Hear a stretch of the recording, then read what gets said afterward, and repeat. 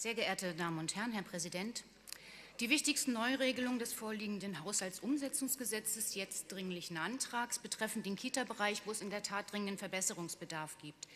Ja, die SPD-CDU-Koalition hat sich in der Frage Personalverbesserungen im U3-Bereich einmal nicht völlig beratungsresistent gezeigt und mit dem neuen Vorschlag von gestern für alle überraschend auf den Druck der Fachöffentlichkeit und auf die stetige Intervention und die Änderungsanträge der Opposition reagiert.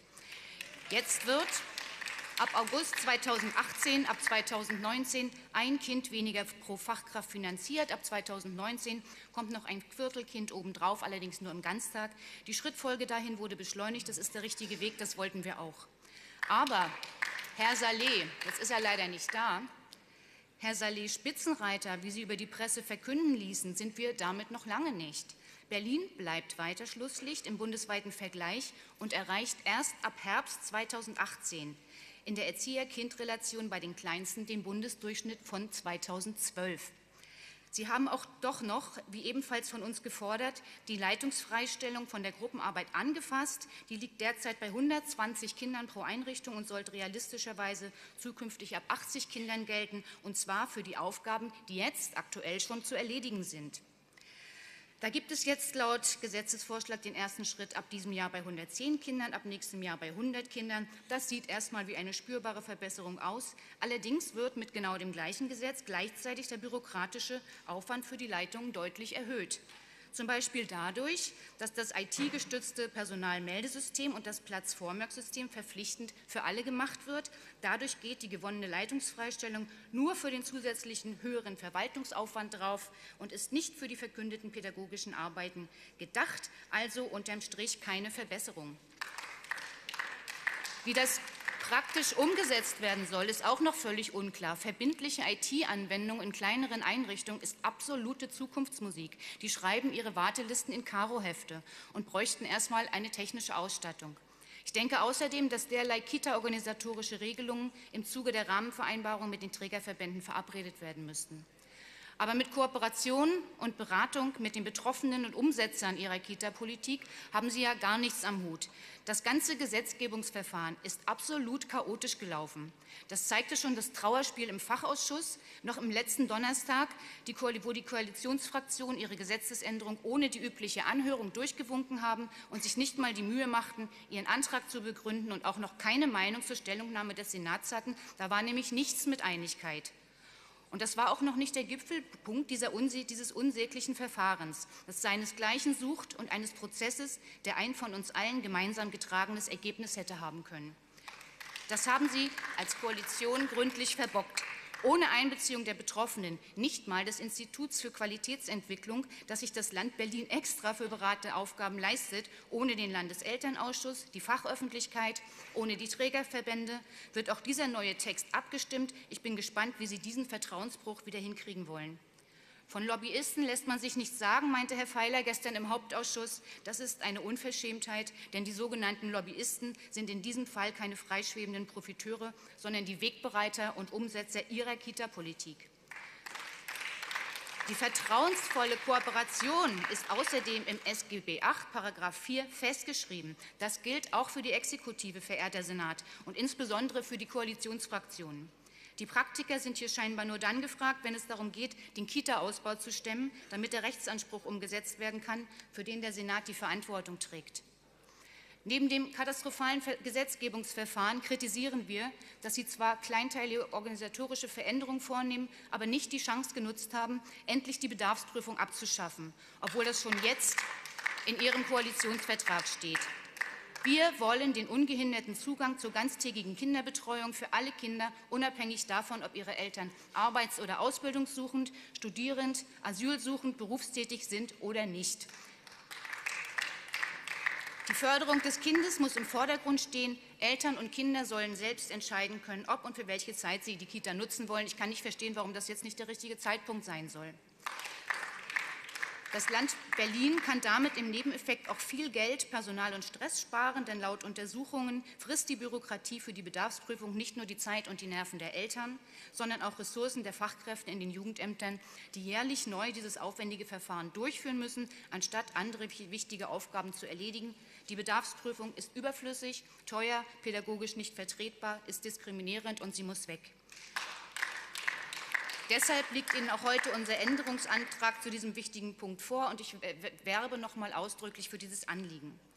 Kritisch sehen wir auch, dass die Einführung der weitergehenden Beitragsfreiheit über die jetzigen drei Jahre hinaus einen so hohen Stellenwert hat. Ja, auch wir sind der Meinung, Bildung darf nicht vom Geldbeutel der Eltern abhängig sein und muss lebenslang kostenfrei sein. Die schrittweise Umsetzung der Kita-Kostenfreiheit steht auch in unserem Wahlprogramm. Dazu stehen wir. Aber machen wir uns nichts vor.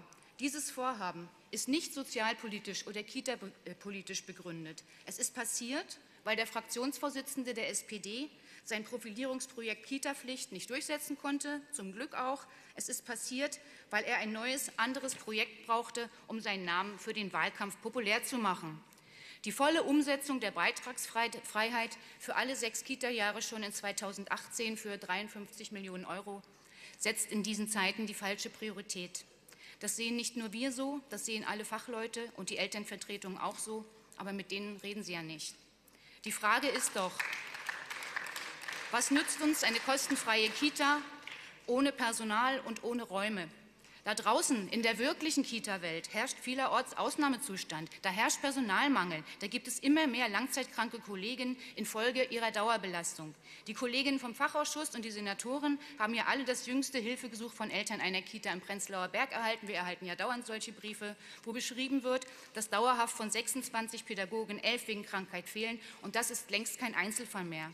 In einer Leiterinnenrunde letzte Woche in Lichtenberg konnte sich keine Kollegin mehr daran erinnern, wann ihre Kita zuletzt personell auskömmlich besetzt war.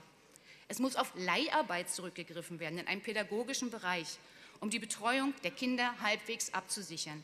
Es geht inzwischen los damit, dass Öffnungszeiten verkürzt werden, dass Eltern gebeten werden, ihre Kinder später zu bringen oder früher abzuholen von Qualität der Betreuung, von frühkindlicher Förderung und von der Umsetzung unseres Berliner Bildungsprogramms, für das sich hier so gern gefeiert wird, von ernstzunehmender Sprachförderung kann unter solchen Umständen nicht mehr die Rede sein. Und das Schlimmste ist, dass inzwischen dringend benötigte Kitaplätze unbelegt bleiben, weil das Personal fehlt. Dazu, wie dem Personalmangel entgegengewirkt und den Kitas geholfen werden könnte, haben sie keine erkennbare Strategie. Die Linksfraktion hat in dieser Legislatur mit diversen Anträgen Vorschläge gemacht unter anderem zur Verbesserung der Personalausstattung für die Sprachförderung, zur Abschaffung des Eigenanteils der Kitaträger von 7 Prozent, damit sie das Personal aufstocken und besser bezahlen können, zu Kitaplätzen für Flüchtlingskinder, zur Einkommensverbesserung der Erzieherin. Da drückt der Schuh. Dafür wird sehr viel Geld gebraucht. Gerade heute gibt es wieder Warnstreiks in Kitas der Arbeiterwohlfahrt, und das werden nicht die letzten sein. Es ist ja wohl bekannt, dass in Berlin um die 300 Euro weniger bezahlt werden als zum Beispiel in Brandenburg. Was wollen Sie in dieser Frage unternehmen? Die Probleme, die Probleme im Kita-Bereich sind komplex und müssen von allen nur möglichen Seiten angegangen werden. Deshalb verhandeln wir heute neben dem Haushaltsumsetzungsgesetz auch noch zwei weitere Maßnahmen, die wir in diesem Sinne vorschlagen wollen. Die längerfristige ist erstens Berlin soll sich für ein bundesweites Kita-Qualitätsgesetz einsetzen. Das wird von Fachverbänden schon lange empfohlen und nehme den Bund endlich in die Pflicht, sich auch finanziell stärker für die Weiterentwicklung der Kita-Qualität zu engagieren, anstatt nur den Rechtsanspruch zu verkünden. Wer bestellt, der bezahlt. Die Senatorin meint bisher dazu, dass mit einem solchen Bundesgesetz ein Standardabbau im vorbildlichen Berlin erfolgen könnte. Expertenanalysen haben aber bestätigt, was längst Stadtgespräch ist. Der qualitative Kita-Ausbau hat mit dem quantitativen nicht Schritt gehalten. Das ist inzwischen äh, deutlich zu sehen in der Stadt.